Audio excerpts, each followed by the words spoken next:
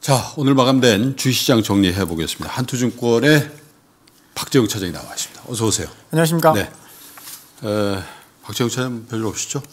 아, 예, 저는 별로 네. 없습니다. 코로나 때문에 여쭤본 거예요. 네, 워낙에 네, 네. 지금 여의도에도 아, 심각해요. 진짜 목전까지 와 있다. 예, 그런 예, 생각이 들 정도로 예, 코로나가 굉장히 예, 힘들게 하고 있는데 예, 이미 뭐 저희 예, 채팅창에도 어떻게 또 아셨는지 예, 고인의 명복을 빌고 또 예, 실제 성함을 예, 고인의 성함을 이렇게 에, 넣어서 명목을 비는 분들이 계시네요. 감사합니다. 자, 오늘 시장 보죠. 에, 코스피는 좀 빠졌고 코스닥은 조금 올랐네요. 네, 오늘은 변동성이 좀 있었고요. 시장은 장중에 코스피는 뭐 27포인트까지 하락을 했었는데 네. 계속 뭐 들어 올렸습니다. 올렸다가 밀렸다, 올렸다 밀렸다 하면서 음. 어, 시속 게임 음, 벌였는데요. 결국은 이제 막판에 이제 낙폭을 좀 줄이긴 했지만 마이너스 예. 5포인트 정도로 마감을 했습니다. 그런데 뭐, 뭐 낙폭이 아주 컸었던 건 아닌데 음. 상승 종목이나 이제 종목 수로 보면 하락 종목이 좀 많았습니다. 네. 560 종목 이상 하락을 했고요. 상승 종목은 280 종목. 그래서 약보합이었는데 하락 종목이 좀 많았고요. 네. 코스닥은 더 조금 차이가 있습니다. 오늘 1포인트 오르긴 했는데 550 종목이 상승했고 730 종목이 하락했습니다. 네. 그러니까 이제 시총 상위 종목들만 좀 끌어올렸다라고 보면 될 것 같고요. 장 막판에 한 2시경부터 코스피도 그렇고 코스닥도 그렇고 기관 쪽에 자금이 조금 들어오면서 낙폭을 줄였는데요. 수급을 보면 코스피는 외국인이 3,800억 정도 팔았고 기관이 2,500억 팔았습니다. 예. 그래서 뭐, 뭐 외국 기관 동시에 매도하면서 시장 분위기는 별로 좋지 않았고요. 코스닥도 마찬가지입니다. 외국인이 690억 팔았고요. 기관이 730억 순 매도하면서 오늘은 개인만 매수를 했는데요. 원달러 환율은 1원 50전 상승해서 1,093원 이렇게 네. 어, 마감을 했습니다. 최근에 외국인들이 지금 오늘까지 4일 연속 매도였고 12월 들어서는 이제 한 4거래일 정도 매수를 연속으로 하고 나서는 계속 좀 매도로 대응하고 있거든요. 음. 이제 만기일 끝나고 나서는 누적으로 지금 포지션은 매도로 전환이 됐고요. 네. 11월 달에 이제 조금 뭐 불안하다라고 보는 게 11월 달에 외국인이 산 자금을 보면 예. 6조 정도를 샀는데 그 중에 가장 많이 산 게 이제 영국계 자금 음. 2조 이상 들어왔고 네. 뭐 미국계 자금이 이제 1조 가까이 들어왔거든요. 9,890억. 뭐그 정도는 사실 매우 어 긍정적인 시장에서 미국계 자금 뭐 장기 투자 자금이라고 많이 이야기하니까. 네. 그런데 뭐 영국, 아일랜드, 프랑스, 룩셈부르크 이런 쪽에서 자금이 계속 들어오고 있거든요. 단기적인 자금. 그렇죠. 그럴 가능성이 있다 보니까 지금 11월 달에 들어온 게 만약에 단기 자금이다라고 한다면 네. 12 12월 달에 매도하는 거는 11월 달에 들어온 것 조금 음, 뭐 익절? 어, 뭐 이익 실현? 네, 차익 매물이 나올 수도 있는 거다. 이렇게 좀 분석이 돼서요. 음. 외국인의 매도를 조금 주목을 해 봐야 될 것 같아요. 기관들이 요즘 좀 그래도 꾸준히 사고 있죠.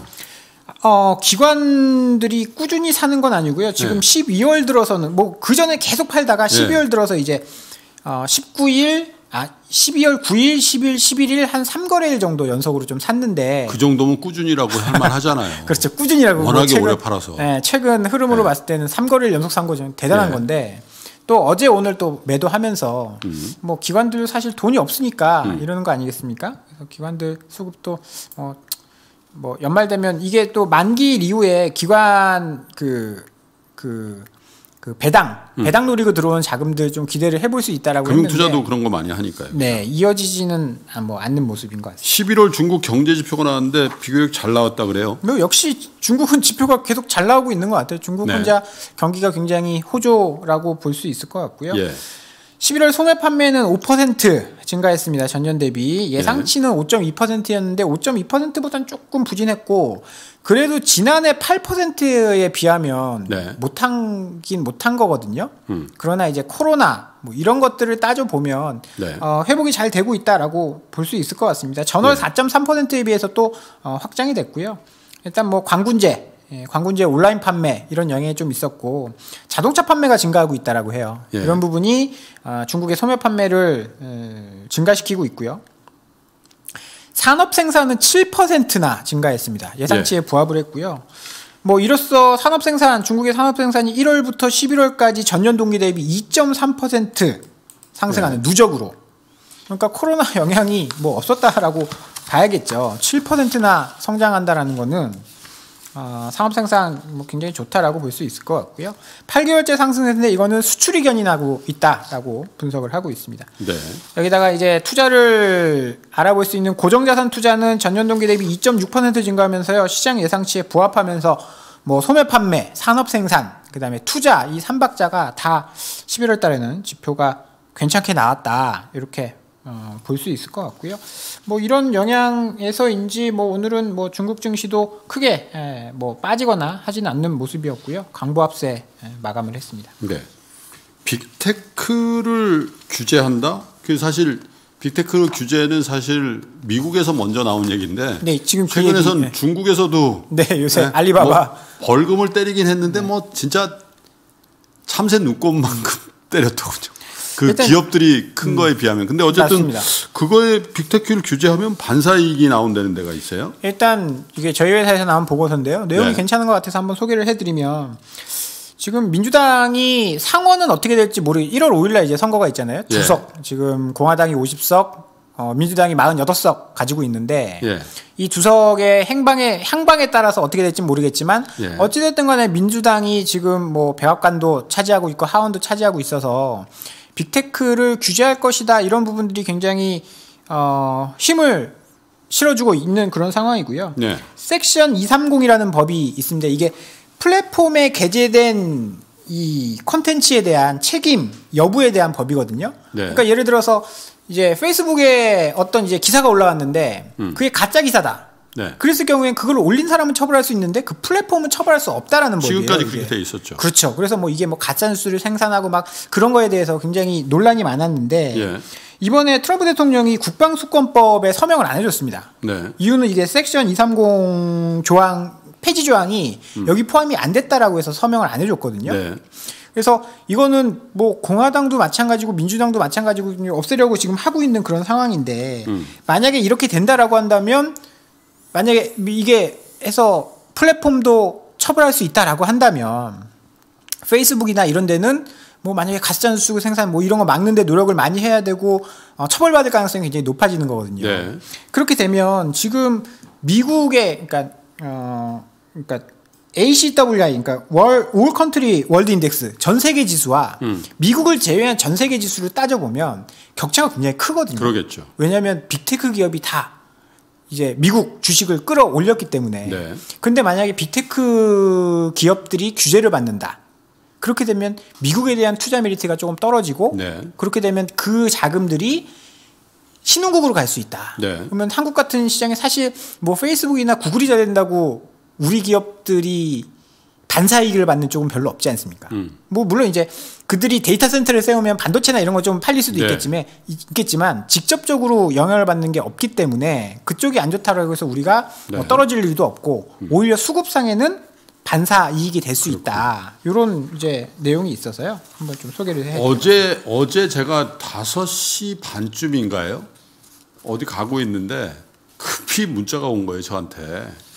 야, 지금 유튜브 유튜브 이게 다운이 다. 아, 이제 그, 네, 저 네. 방송 시간 얼마 안 남았는데 네, 어떻게 할 8시 반, 거냐. 8시 반, 네. 그 진짜 보니까 이게 되질 않는 거예요. 우리만 다운 받는 게 아니라 전 세계가. 네. 근데 구글이 이제 전반적으로 이제 다 다운되니까 야, 전 세계에서 가장 큰 플랫폼이 이렇게 다운되면은 선수들 뭐 한 거야? 투자 안 하고 그렇죠. 어? 서버 이거 안 늘려도 돼? 이런 생각들을 하게 된다는 얘기죠. 네네. 저, 저도 저도 어제 이제 저녁 먹다가 음. 유튜브 폭파됐습니다라는 카톡을 그러니까. 받고 들어가 봤어요. 예. 안 되더라고요. 8시 안. 반부터 음. 8시 반부터 한 1시간 가량 그러니까 8시 반부터 9시 30분까지 전 세계적인 구글 서비스가 먹통이 네. 됐다라고 하더라고요. 그래서 어, 이 내용을 확인을 해보면 내부 저장 용량 문제로 인해서 45분 동안 중단이 발생했다라고 했는데 네. 뭐 저도 이제 기술적인 건 정확히 모르니까 이제 내부 저장 용량이 뭐 서버인지 뭔지 정확히 몰라서 그렇겠지만 어찌됐든 간에 이렇게 서버가 다운된다라고 했을 때 가장 먼저 떠오른 건 어, 데이터 센터, 음. 반도체 그렇죠. 이 생각이 떠오르더라고요. 네. 지금 어, 삼성전자도 그렇고 하이닉스도 그렇고 실적이 굉장히 좋았습니다. 2분기, 3분기 굉장히 좋았는데 네. 그 이유는 모바일 쪽 그 다음에 PC 수요였거든요. 네. 크게 보면 이제 반도체 수요가 모바일 쪽이 있고 PC 쪽이 있고 서버 쪽이 있습니다. 음. 근데 지금 서버 쪽은 아직까지 올라오지 못하고 있는 상황이에요. 그렇죠. 근데 구글이 이 모양이다라고 해서 만약에 서버를 증설한다? 네. 그럼 서버까지도 업황이 좋아질 수 있는 그런 상황이 되는데 얼마 전에 제가 이제 뭐 아, 아, 아, 말씀을 드렸는데 지금 반도체 스팟 가격이 올라가고 있거든요. 그, 그한 3개월의 시차를 두고 고정거래 가격도 올라가는데 올 초를 보면 그랬어요. 2분 2월부터 반도체 스팟 가격이 쭉쭉쭉 올라가면서 4월 5월경에 반도체 고정거래 가격이 상승했거든요. 예. 이런 것들을 보면 지금 스팟 가격이 위로 올라가고 있다라는 것은 아마 내년 상반기에는 고정거래 가격도 함께 올라갈 수 있는 어, 상황이다. 이렇게 봤을 때는 네. 구글의 장애 이거는 삼성전자, 하이닉스 이런 호재다. 쪽에 굉장히 호재가 될 수 있다. 이렇게 그러네. 봐야 될 것 같습니다. 마지막 뉴스 하나만 간단히 좀 볼까요? 디스플레이 업종 주가가 많이 올랐는데 장기 소외 종목 아니에요? 맞습니다. 네. 이게 사실 어, 성장 그러니까 약간 쇠퇴하는 산업이었어요. 디스플레이 네. 특히 LCD 같은 경우에는 쇠- 이제 중국으로 다 뺏겨서 경쟁력을 다 뺏겨서 중국이 뭐 BOE나 이런 쪽이 1등 하고 그랬는데 이게 최근에 LG 디스플레이 오늘도 뭐 주가가 급등했는데 음. 내용을 보면 11월 달에 32인치 네. LCD TV open cell 가격이 61달러. 5월 달에 이게 30달러 대였거든요. 음. 네. 그래서 85% 상승했다라고 합니다. 네. 그러니까 LCD 가격이 상승할 거라고는 상상도 못했는데 그렇죠. 거의 두 배 가까이 상승, 상승을 했습니다. 이유는 수급상의 문제인데요. 일단 삼성 디스플레이가 LCD 사업을 포기했잖아요. 네. 우리 이제 LCD 안 할 거야. OLED만 할 거야. 이렇게 이렇게 했는데 내년 1분기부터 삼성 디스플레이의 LCD 사업 철수 이걸로 인해서 뭐 중국 업체들이 뭐 약간 이제 증설을 하긴 하는데 네. 삼성이 빠져나가는 게 훨씬 더 크고요. 그다음에 지금 수요로 보면 TV와 노트북이 엄청 잘 팔리고 있습니다. 그렇죠. 뭐 기업들 지금 재택한다고 우리 회사도 최근 몇 달 동안 한 대여섯 대 샀어요. 노트북. 저희는 지금 사실 저희는 다 개인 노트북을 지급을 해줬거든요. 음. 그리고 그런 거 보면 지금 중국도 수출이 잘 되는 게 다 가전 수요입니다. 네. 뭐 TV, 뭐 노트북 이런 것들이 뭐 안정적으로 어, 수요를 어, 견인을 해줄 거기 때문에 수급상으로 굉장히 좋다라는 거죠. 예. 지금 LG 디스플레이뿐만이 아- 뿐만이 아니라 중국 이제 이제 디스플레이 업체들은 중국이 1위거든요. BOE라든지 이런 네. 업체들은 주가가 굉장히 많이 오른 상태다. 음. 그래서 전반적으로 이게 사실 그렇잖아요. 이게 블루오션 이게 성장 산업이다라고 하더라도 경쟁이 굉장히 심하면 음. 주가가 못 오르 못 오르지만 못 오르는데 레드오션 뭐 아니고 이렇게 그 사양 산업이더라도 네. 이그 구조 조정이 끝나고 뭐, 뭐 서로 경쟁이 끝나고 이 그 뭐그 뭐라고 하죠? 치킨 게임이 끝나고 나면 음. 이 가격이 오르는 그, 그런 상황이 좀 벌어질 수 있다라는 것들을 쥐구멍에도 해뜰 네. 날이 있다. 그런 디스플레이 업종에서 좀 오늘 최근에 좀 볼 수 있는 것 같습니다. 알겠습니다. 오랜만에 박재영 차장 만났는데 여러 가지 뉴스를 그냥 아주 그냥 조목조목 상세히 전해주셔서 많이 도움이 된 것 같습니다. 박재영 차장 감사합니다. 감사합니다. 박재영 차장도 건강 네, 조심하시고. 건강 조심하겠습니다. 네, 네. 네.